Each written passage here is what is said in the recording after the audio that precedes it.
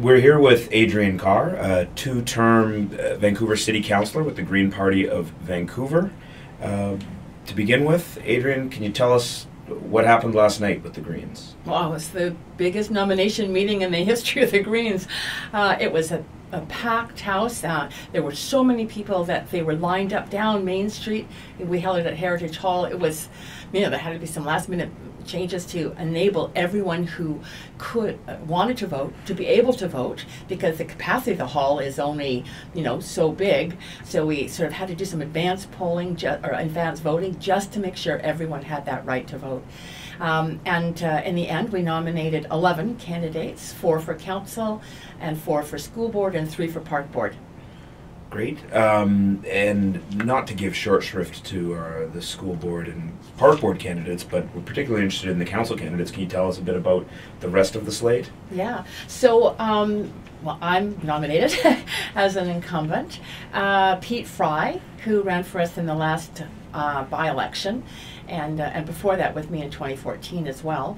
Uh, um, Mike Wiebe, who is currently a park board commissioner, decided to go for council, so he's nominated.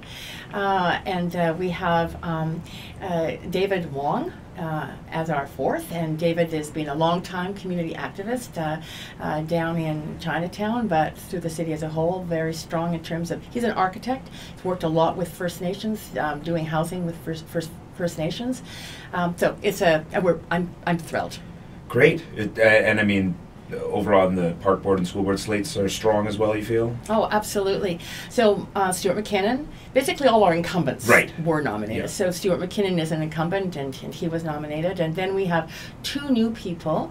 Uh, Dave Demers uh, is uh, is uh, running. He's um, a, a, landscape uh, designer um, and works a lot around housing. Again, doing sort of the landscape work. And um, and uh, Camille uh, Dumont, who is a uh, a um, food person. He's a inner city foods uh, founder. He's a urban agriculturalist, and uh, so it brings that kind of experience.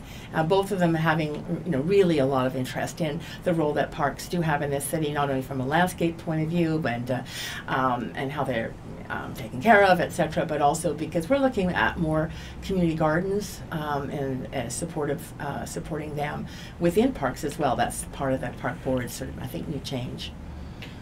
Great. Great. Um, and then there's a couple of incumbents uh, on the school board. Absolutely, Janet Fraser. Um, so she'll be running for third time because she was elected in 2014 and then again in the in the uh, October by-election. And Estrellita Gonzalez. So um, uh, Esty and and, uh, and Janet were two. Our third green who chose not to run um, this time around. Uh, they topped the polls in the by-elections. So we're you know feeling good about that. Uh, and then Lois uh, Chan Pedley